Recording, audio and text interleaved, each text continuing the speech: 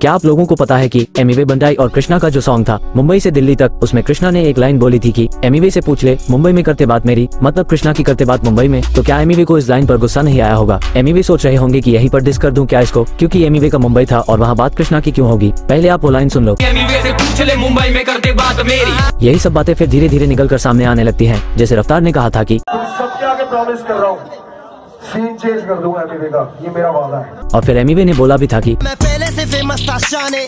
तू क्या मेरा छोटे सीन चेंज करेगा? ऐसा नहीं है कि एमिवे उस टाइम पर फ़ेमस नहीं थे। मुंबई में एमिवे और बंटाई एंड हैशटैग सड़क वाले ट्रैक से ही फ़ेमस हो गए थे। तभी से उनका मुंबई पर राज चलने लगा था। एमिवे और कृष्णा की बीफ के बाद एमिवे ने मुंबई से दिल्ली तक वाला ट्रैक डिलीट कर दिया था अपने चैनल से। तो आप लोगों का क्या कहना है इस पर? और ये भी बताओ की मुंबई से दिल्ली तक में किसका रैप ज़्यादा अच्छा लग रहा है? कृष्णा का या एमिवे बंटाई का? अगर आपको भी अफसोस है एमिवे और कृष्णा की लड़ाई से तो आप अपने अफसोस कमेंट्स में ज़ाहिर कर सकते हैं।